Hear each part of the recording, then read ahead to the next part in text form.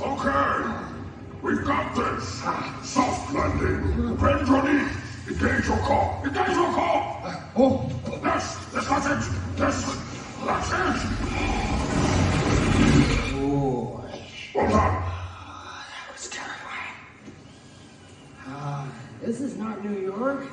Oh, this is Wasteland. I detected passive regression. Are you? Yeah. Oh, I'm sorry. How about some active regression? You just threw me off a 757 without even the slightest consideration for my chronic vertigo.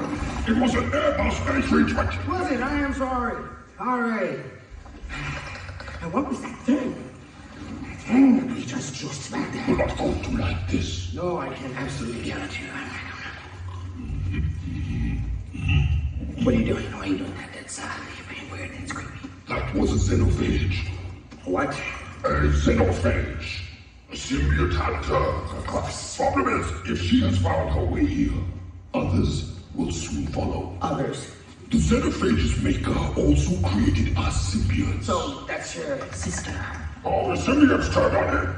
Locked him up on Data. Your planet. No, not a planet. Not your planet. A prison we built for him to sleep. Of course. For eternity. What's his name then? I didn't hear what he said. No.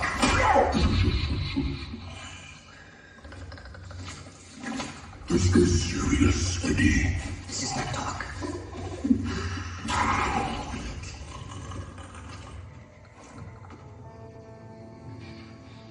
What does your silent mm, thingy, the symbiote hunter want with you anyway? It? He wants us. We have something it needs. We only have this shitty shirt. You got one boat. And. What now? I'll show you. Damn it! What are you doing? Let's say you died. I could bring you back to life. Well, I like that. But if I did, our separate life forces would become one single force called a codex. What the hell is a codex? It's a key, a key that unlocks a cage. The prison on Klyntar. It would free our creator. Well, thank God we haven't died. Yeah, except that one time. Oh, no.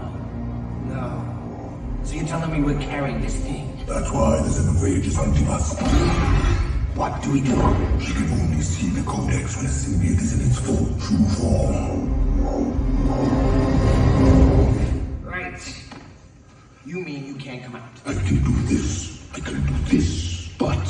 I fully transform, the codex sends her a tracking signal. She'll find us, rip it out with our spine, and free Knull from Klyntar. So how do we get rid of this codex? As long as you and I both live, the codex exists.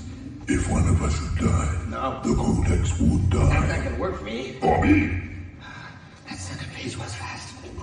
It won't take long for the feds to tie us those four headless bodies we left in Mexico.